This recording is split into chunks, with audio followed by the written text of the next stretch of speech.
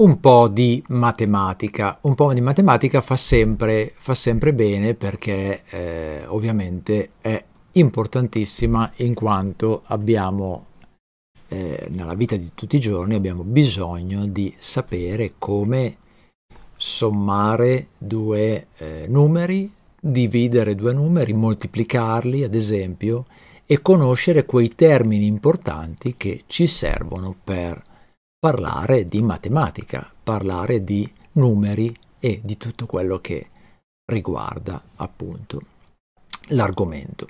Allora andiamo subito, vi farò un breve elenco, sono poche slide, per capire, per imparare insieme quali sono i termini eh, utilizzati nella matematica, eh, semplici ovviamente, non andiamo a fare cose complicate, ma ci servono per eh, sapere che ad esempio le quattro operazioni eh, si chiamano somma, quelle col segno più, sottrazione col segno meno, moltiplicazione col segno per e divisione con il simbolo di diviso. Allora la somma o l'addizione in questo caso ci permette di sommare il verbo sommare o addizionare, anche se meno usato, due valori numerici come 2 più 2 uguale 4. Oppure la sottrazione che ci permette di sottrarre quindi 6 meno 4 uguale 2.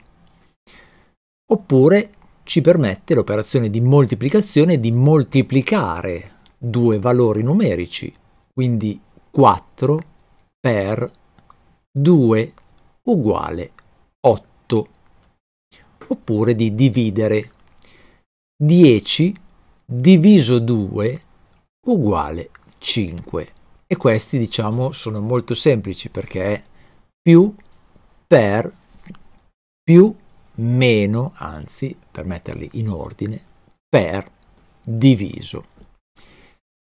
Andiamo alla seconda slide dove le cose si complicano leggermente. Allora, primo, eh, la prima operazione è la potenza, cioè l'esponente. Per rendere tutto più semplice, 2 elevato 2 con esponente 2, il risultato è 4. 2 con esponente 3, il risultato è 8. Perché? Perché in questo caso si fa 2 moltiplicato per se stesso due volte, quindi 2 per 2, il risultato è 4. 2 invece moltiplicato per se stesso tre volte, il risultato è 8, quindi 2 per 2, 4, per 2 ancora una volta 8, quindi la potenza è, eh, conoscerete la matematica magari ma non in italiano, la potenza è eh, ovviamente la moltiplicazione per se stesso dello stesso valore per quante volte viene eh, messo in esponente.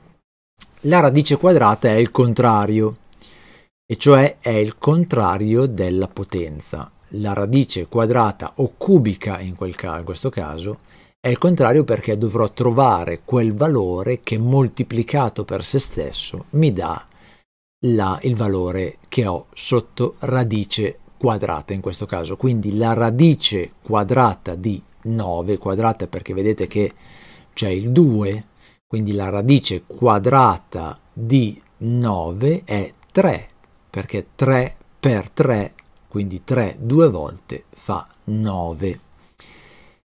E la radice cubica, quindi la radice cubica, questo ovviamente è il simbolo di radice, la radice cubica di 27 è 3, perché 3 per 3 per 3, 3 per 3 fa 9 e 9 per 3 fa, fa, vedete che dico anche fa, non, oltre che a uguale, è uguale a 27, quindi radice cubica di 27 è 3.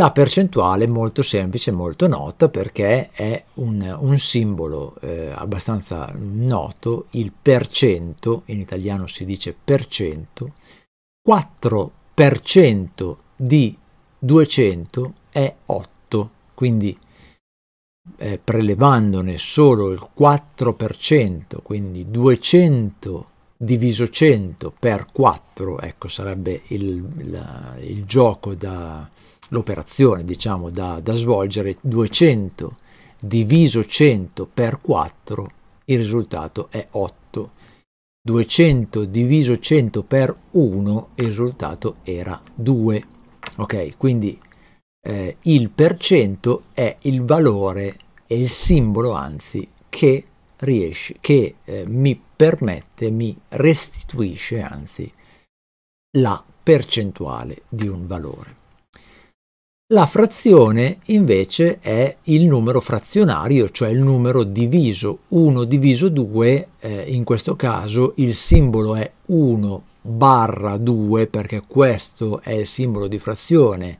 Eh, normalmente lo si vede scritto nella matematica, diciamo lo si vede scritto un numero sotto l'altro, quindi 1 con la frazione orizzontale e 2, in questo caso il simbolo eh, non c'era sul computer, ho dovuto scrivere 1 barra 2, quindi un, la frazione in questo caso si legge un mezzo, oppure l'altra si legge 3 quarti, oppure l'altra ancora si legge 2 terzi, oppure l'altra ancora che si legge un po' male, ma è 5 sesti.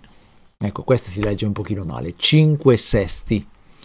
Quindi eh, bisogna mettere in numero in eh, ordinale quello sottostante, quindi mezzi, quarti, terzi, sesti. Ovviamente andatevi a seguire la lezione sui numeri cardinali e sui numeri ordinali ed è semplice perché quello sopra si mette in valore cardinale, quello sottostante si mette in valore in, in termine ordinale, quindi un mezzo di nuovo, tre quarti, due terzi, cinque sesti. Nell'altra slide abbiamo le diseguaglianze, le uguaglianze e le diseguaglianze. Le uguaglianze hanno l'uguale, si sa, sono come le operazioni normali, in questo caso le diseguaglianze ci stanno semplicemente dicendo che 3 è maggiore, quindi questo simbolo è il simbolo di maggiore di 2, quindi 3 è più grande di 2, maggiore di 2. Oppure, allo stesso modo, 3 è minore di 4, quindi 3 è inferiore a 4, 3 minore di 4. I numeri decimali sono quei numeri che eh, vanno a toccare i decimi dell'unità, quindi la mia unità potrebbe essere 1 o potrebbe essere 0, potrebbe essere 21 o 3, i numeri decimali sono quelli che stanno dopo la virgola dell'unità, quindi 0,5, quindi vuol dire che è metà un valore, quindi metà 1, un mezzo, 0,5. 21,8,